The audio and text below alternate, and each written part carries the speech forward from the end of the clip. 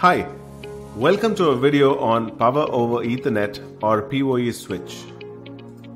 Any electronic system needs to be powered up for it to work. In IP CCTV system, the cameras work on DC power and there are two ways of powering it up. First, it can be powered locally using a 12 volt 1 amp DC power adapter or it can be powered up using a PoE switch. The PoE switch is a computer network switch which can also power up the IP cameras connected to it. The PoE switch sends power to the cameras and receives data from the camera and sends it to the NVR using the Cat6 cable.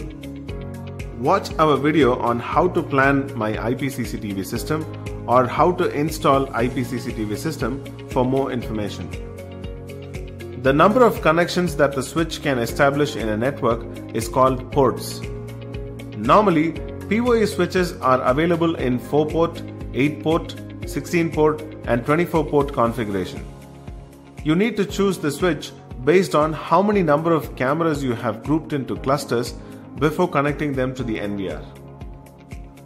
One other consideration is that how many uplink ports that the PoE switch has got. It would be better if it has got two uplink ports if you are planning to cascade the switches before connecting it to the NVR. Look at the diagram for more clarity.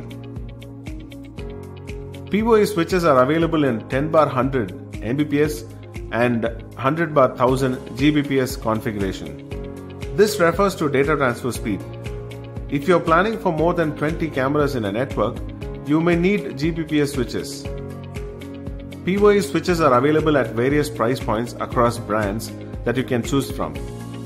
You can get more information on the products page of our website www.agscctv.com or you can talk to our CCTV experts. Thanks for watching.